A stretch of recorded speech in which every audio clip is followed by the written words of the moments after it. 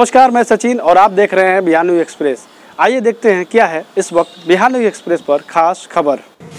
अपराधियों का मनोबल सिवान में बढ़ गया है। आए दिन कोई ना कोई घटना देखने को मिल रही है। आज फिर अपराधियों ने उपस्थित थाना क्षेत्र के अयोध्यापुरी में एक युवक को गोली मारकर गंभीर रूप से घायल कर दिया।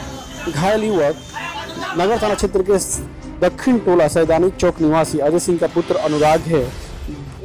ये घटना मुफस्सिल थाना क्षेत्र के अयोध्यापुरी की है, जहाँ अपराधियों ने युवक को गोली मार दिया है। घायल युवक को उपचार के लिए सदर अस्पताल लाया गया, लेकिन गंभीर हालत होने के कारण डॉक्टरों ने उसे पीएमसीएच रेफर कर दिया है।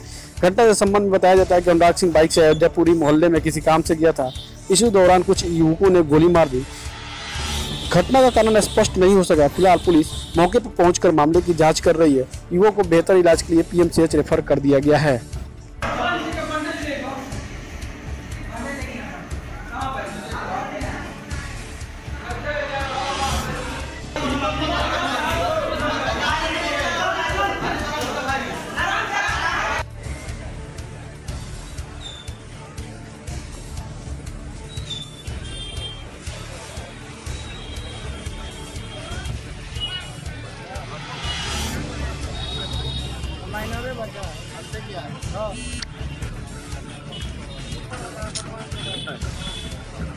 जन साथ में अयोध्या पुलिस जो है ना वहीं पे खड़े थे ठीक है?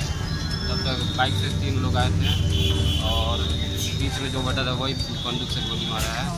हम गली में भागे थे वो भी उधर चिल्ला के भाग रहे थे तो कौन लोग थे? मारने वाले कौन लोग थे? तो मारने वाले लोग नहीं थे। तो आप लोग क्या- नज़दीक में थे वही आप लोग क्या करने गए थे अयोध्यापुरी?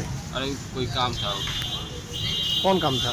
उसी के बोले कोई कुछ कुछ काम था वहाँ पे। बैठ कर नहीं तो आप लोग क्या लग रहा है आखिर कौन हो सकता है? किसी से कोई विवाद है क्या? बात तो किसी से नहीं है। हम लोग तो आपको क्या लग रहा है कि आखिर क्यों गोली मारी गई है? हमको इसके बारे में गोली जब मारी गई तो आप वहाँ पे थे? लगभग वो बाइक के पास था हम पार्क लगा है वहाँ पे तो हम साइड में खड़े थे। अच्छा। और आप वहाँ से हट गए भाग गए?